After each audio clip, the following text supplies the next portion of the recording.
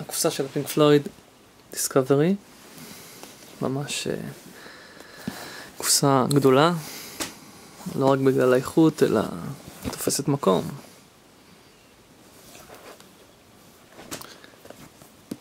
שפותחים אותה, נראה ככה מבפנים, כל האלבומים. אני אוציא אותם. נתחיל מה... מקבלים פה מין איזה חוברת כזאתי. שבה...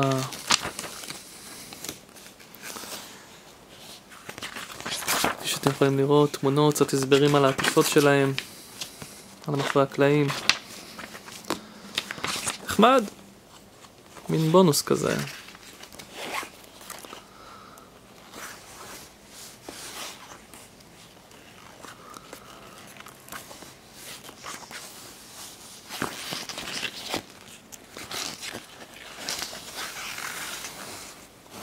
התמונה הקלאסית. ובכל זאת, זה נחמד, זה טוב, זה יפה, אבל uh, זה לא העיקר. המוזיקה.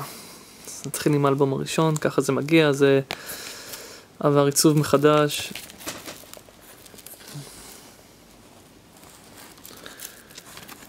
כל הדיסקים מגיעים במין איזה עיצוב פסיכדלי כזה. וכמובן עם חוברת בפנים.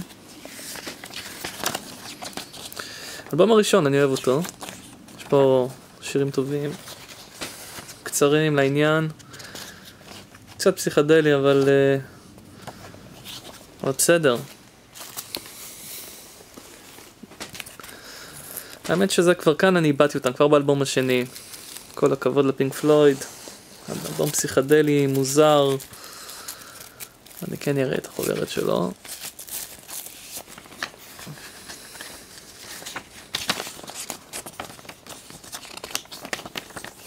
כן, נחמד, שמו את המילים והכל.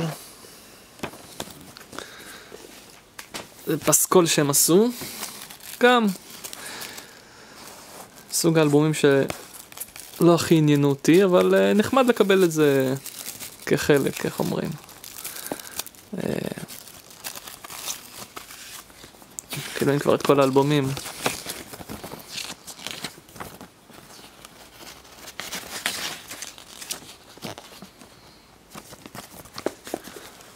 אלבום שדי הצליח, למרות שכמו גם האחרים, גם אותו, לא נפלתי ממנו.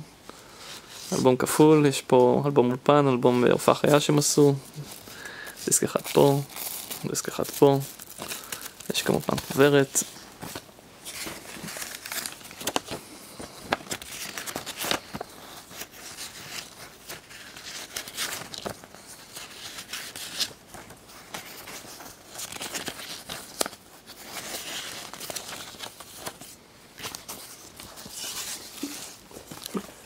זה אלבום באמת שהראשון שאני ממש מתחיל לאהוב אותם. כאן כבר התחילו אה, כמו הפינק פלויד ש... היותר מצליחים אפשר להגיד, כבר התחילו לתפוס את הסאונד שלהם, את הכיוון, אלבום שמאוד הצליח.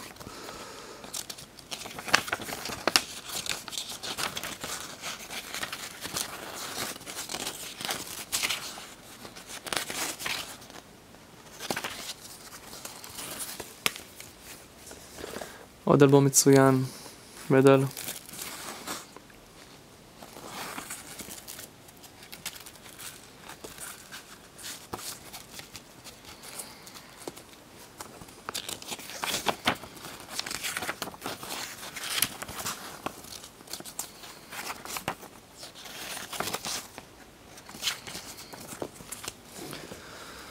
עוד פסקול שהם עשו, בסדר, אתם יודעים, איך אומרים? חלק מהחבילה אז יאללה. לא כל מה שפינק פלויד עשו זה זהב, לפחות לא להרבה אנשים, אבל אה, יאללה. ועכשיו אנחנו מגיעים כבר לאלבומים המעניינים יותר. לא יודע אם צריך להציג את Side of the Moon. זה באמת אה, פשוט uh, אלבום מושלם.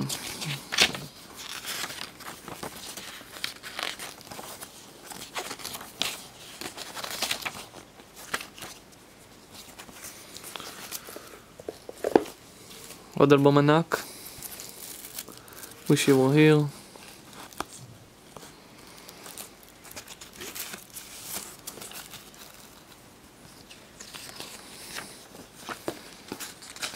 אלבום בלי הרבה קטעים, אבל היה צריך לצאת, חברת תקליטים לחצה עליהם, להמשיך את המכירות של המיליוני עותקים של ה Dark Side, אז הם עשו צ'יק צ'אק אלבום ככה, פחות או יותר, אפשר להגיד צ'יק צ'אק, אבל אה, חמישה קטעים ארוכים, יפים. Animals, אה, בעצם אפילו איפשהו נחשב כמו אלבום סולו של רוג'ר ווטרס יותר. היה, היו הרבה סכסוכים בלהקה באותה תקופה.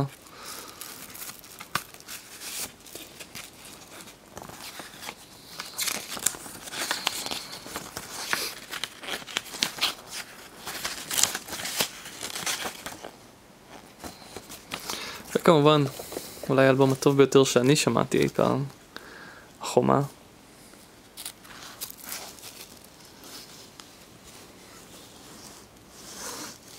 שני דיסקים.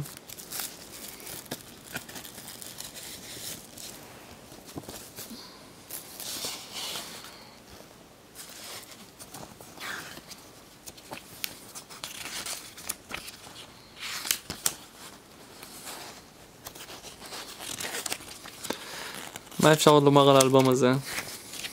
אמרו כבר הכל. באמת אה, קלאסיקה. העטיפה המקורית עם האדום, שזה יצא בדיסק בהתחלה, זה יצא בשחור, צנזרו את הדם, אבל ב remastered אה, חזרו לאדום, שזה נחמד. השאריות של The Wall, זה The Final Cut, כמה, אלבום שקצת פוספס, יש פה כמה קטעים ממש טובים. העטיפה נראית ככה ולא מושקעת כמו אחרים, כי רוג'ר ווטרס עשה את העטיפה הזאתי. לקח פיקוד על כל האלבום, גם הביא נגנים חיצוניים אגב. אה, סכסוכים בתוך הלהקה, וזה באמת האלבום האחרון שלו. אחרי זה הוא עזב, הוא לא האמין שהלהקה תמשיך בלעדיו, אבל המשיכה. והצליחה. כאן הוא כבר לא נמצא.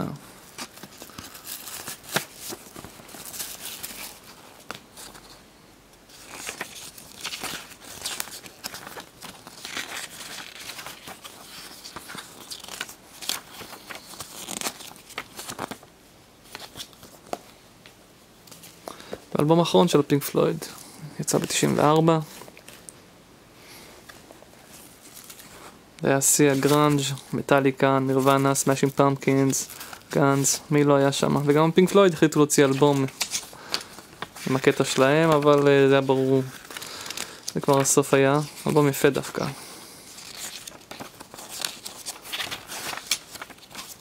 מומלץ, באמת. זאת הקופסה של הפינק פלויד. ה Discovery.